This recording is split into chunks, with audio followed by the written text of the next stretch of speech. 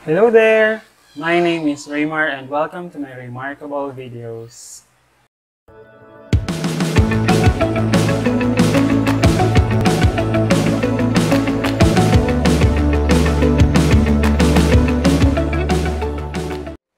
So, ang channel na ito ay gagamitin ko para sa mga supplementary videos na makakatulong para sa maximum learning ng mga estudyante ko dito sa aming paaralan. Makakatulong itong mga videos para mas lalo nilang maintindihan ang mga lessons and activities ng aming modular learning for this school year. Ito ay mapapanood nila sa kanilang Facebook through my FB DepEd account na exclusive lang para sa mga grade 10 students.